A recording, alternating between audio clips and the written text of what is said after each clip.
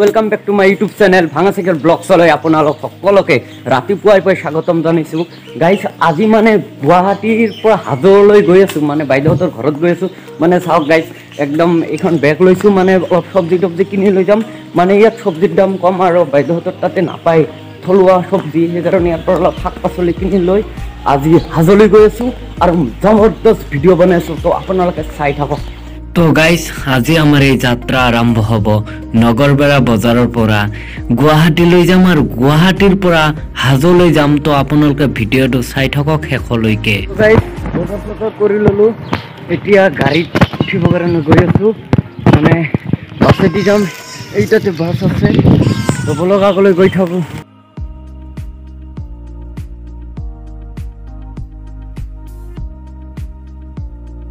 তো গাইজ এনেদৰে মাতৃ হোটেলৰ আগৰ পৰা আৰম্ভ কৰিছোঁ ভিডিঅ'টো। মানে গাড়ীত একেবাৰে পেচেঞ্জাৰ নায়ে আমি কেইজনমানহে আঙুলিৰ মূৰত গণিব পৰা পেচেঞ্জাৰ তো এনেদৰে ঘন কুঁৱলীৰ মাজেৰে আগবাঢ়ি আছোঁ আগলৈ। তো এনেদৰে আগবাঢ়ি থাকোঁতে লাহেকৈ পাই গৈছোঁ আমাৰ বকো চহৰ অৰ্থাৎ বকোত এনেদৰে পাই গৈছোঁ। আৰু এই বকোতে মই অলপমান নামিম আৰু গাড়ীখন ইয়াতো ৰৈছিল ৰোৱাতে মই এনেদৰে নামি বাহিৰলৈ আহিব লগা হ'ল আৰু ইয়াৰ পিছত আকৌ যাত্ৰা আৰম্ভ কৰিলোঁ। অৰ্থাৎ একেবাৰে গুৱাহাটীত আহি আৰম্ভ কৰিলোঁ অভাৰব্ৰিজৰ ওপৰৰ পৰা। তো এনেদৰে গৈ আছোঁ হাজোলৈ। তো এনেদৰে লেটছ গ' বৰ্তমান সময়ত ব্ৰহ্মপুত্ৰৰ ওপৰত বহু কেইখন দলং নিৰ্মিত হৈছে। কিন্তু তাৰ ভিতৰত সকলোতকৈ পোনপ্ৰথমে নিৰ্মিত হৈছিল এইখন দলঙে যাৰ নাম হৈছে শৰাইঘাট দলং। আৰু এইখন দলঙৰ নিৰ্মাণ কাৰ্য আৰম্ভ হৈছিল নাইনটিন ফিফটি এইটত জানুৱাৰী মাহত।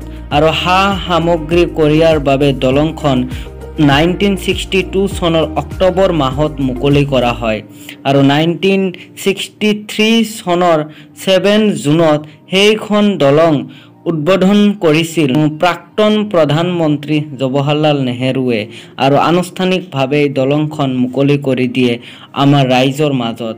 আৰু এইখন দলঙৰ ওপৰেদি ৰাষ্ট্ৰীয় ঘাইপথ আৰু তলেদি ৰেলপথ আছে। বৰ্তমান দলংখনৰ চোৱা চিতাৰ যি কাম সমূহ আছে। এই কামসমূহ নিয়াৰিকৈ দায়িত্ব অৰ্পণ কৰা হৈছে উত্তৰ পূব সীমান্ত ৰেলৱেক। আৰু এইখন দলঙৰ মুঠ দৈৰ্ঘ্য হৈছে প্ৰায় ডেৰ কিলোমিটাৰ। আৰু এই দলংখন নিৰ্মাণ কৰিছিল হিন্দুস্তান কনষ্ট্ৰাকশ্যন কৰ্পৰেশ্যন লিমিটেড। আৰু এই দলংখন নিৰ্মাণ কৰা হৈছিল নাইনটিন ফিফটি নাইনত জানুৱাৰী মাহত। আৰু এই দলংখন বৰ্তমান সময়ত অসমৰ ভিতৰতে আটাইতকৈ পুৰণি দলঙৰ নাম পাবলৈ সক্ষম হৈছে। অৰ্থাৎ এইখন দলঙৰ ওপৰেৰে দিনে নিশাই শ শ যাত্ৰী অহা যোৱা কৰে আৰু এনেদৰে টেম্পৰ পিছত বহি আপোনালোকৰ কাৰণে মই আছোঁ ভিডিঅ' বনাই আৰু গৈ আছোঁ আগলৈ তো আপোনালোকে চাই থাকক ভিডিঅ'টো একেবাৰে শেষ মুহূৰ্তলৈ আৰু ক'লৈ গৈ আছোঁ মানে হাজোলৈ গৈ আছোঁ।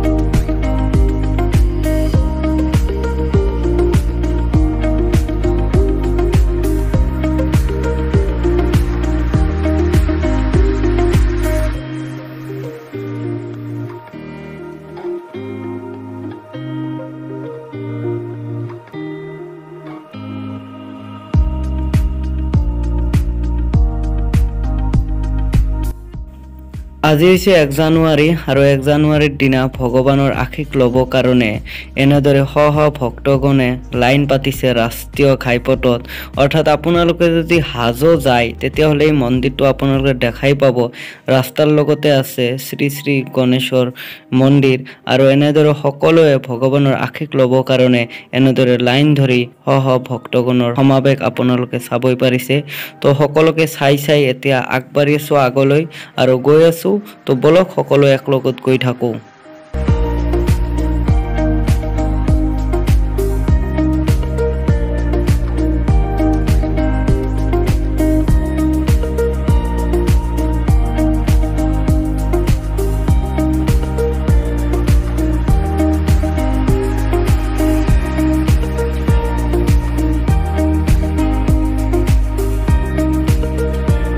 তো ফাইনেলি হাজো পাখামালা চক আহি পাই গৈছোঁ আৰু পাখামালা চকৰ পৰা এনেদৰে খোজ কাঢ়ি আগলৈ গৈ আছোঁ তো আপোনালোককো লৈ গৈ আছোঁ। তো বলক ভিনদেউহঁতৰ ঘৰলৈ যাই লওঁ তো লেটছ গ' এনেদৰে আছো বহি এনেদৰে মামাৰ লাইভ দিছে মামাৰ লাইভ চাই আছো বাইদেউহঁতৰ ঘৰত এনেদৰে বহি আছো মানে আছো আৰু অহাকালি মানে আজিয়ে ঘূৰিব যাম ক'ত গৈছো কিয় গৈছো চাই থাকক ভিডিঅ'টো মামাৰ ভিডিঅ' আপোনালোকে ঘৰত বহি বহি চাই থাকক মইতো চাই থাকোঁ।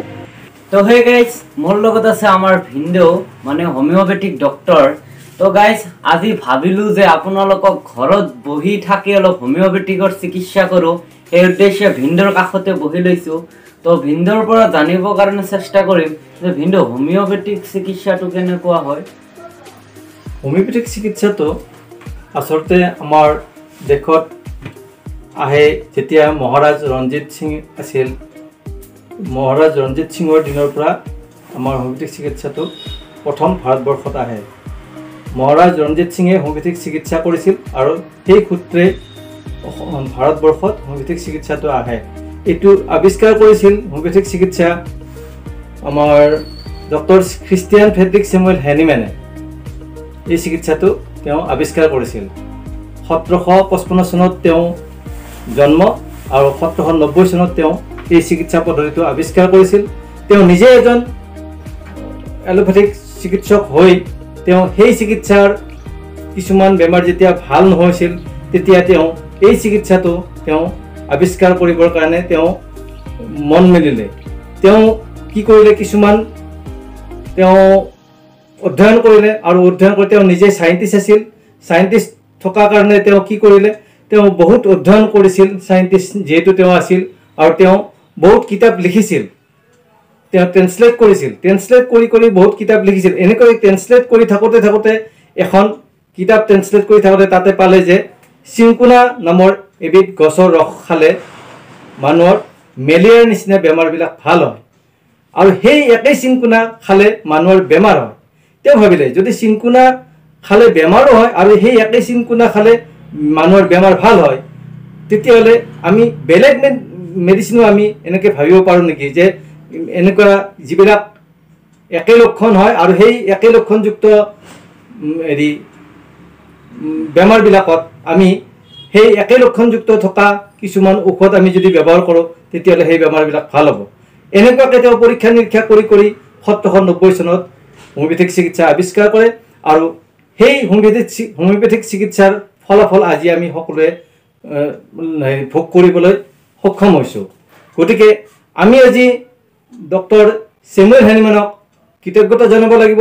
তেওঁৰ সোতৰশ পঁচপন্ন চনৰ দহ এপ্ৰিলত তেওঁৰ জন্ম হৈছিল আৰু সেই দিনৰ পৰা তেওঁ আজি সোতৰশ নব্বৈ নব্বৈ চনত তেওঁ হোমিওপেথিক আৱিষ্কাৰ কৰিলে আৰু তেতিয়াৰ পৰা হোমিওপেথিক চিকিৎসা পৃথিৱীত চলি আছে। তাৰমানে হোমিঅ'পেথিক চিকিৎসাত বিশেষকৈ কোনবিলাক ৰোগত ৰোগক চিকিৎসা কৰা হয় অৰ্থাৎ কোনবিলাক বেমাৰক চিকিৎসা কৰি বেছি সোনকালে আমাৰ ভাল হয়। আৰু জনামতে এইটোতো এটা বেলেগ থাকে তাৰমানে এইটো মিঠা জাতীয় এটা যে বৰিৰ নিচিনা থাকে এইটোতে একচুৱেলি মেইন ঔষধটো লগ কৰি দিয়া হয়। মানে সেই প্ৰচেছটো কৈ দিব নেকি কেনেকুৱাকৈ আচ্ছা। এইটো হ'ল আমি যে গ্ল'বিউলছবিলাক দিওঁ এইবিলাক মিঠা বড়িবিলাক দিওঁ এইবিলাকক গ্ল'বিউলছ বুলি কয় এই গ্ল'বিউলছবিলাকত ঔষধ নাথাকে একো। গতিকে যিটো লিকুইড থাকে সেইটোৱে ঔষধ। সেই ঔষধটো গ্ল'বিউলছত দি দিয়া হয়। গ্ল'বিউলছটো হ'ল এটা মিডিয়া গ্ল'বিউলছৰ মাধ্যমত আমি ঔষধৰ ড'জটো নিৰূপণ কৰি পেলাই আমি দি দিওঁ। আৰু এই চিকিৎসা পদ্ধতিটোত চব বেমাৰৰ ট্ৰিটমেণ্ট কৰিব পাৰি। According to sign and symptom we do the treatment we do the treatment according to sign and symptom if sign is sign and symptom is there then treatment is there uh whether it may be corona or any other virus is symptom if there is sign we can do the treatment in uh, from homeopathic s- side. We can do the treatment.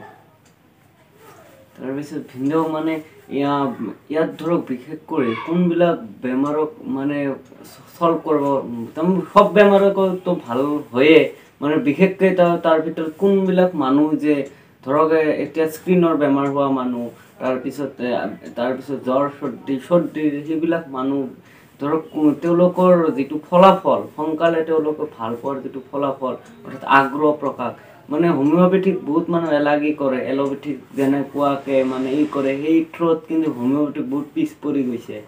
তো সেই ক্ষেত্ৰত আপুনি কি ক'ব?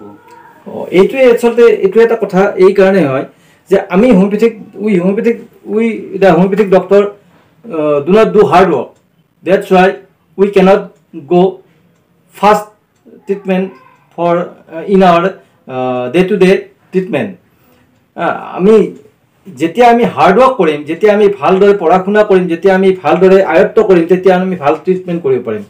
এতিয়া আমি যিবিলাক হৈ পেলাই সেই কাঁইটডাল নোহোৱা হৈ যাব। গতিকে পেচেণ্টটোৱে অতি সহজে ৰিলিফ পাব।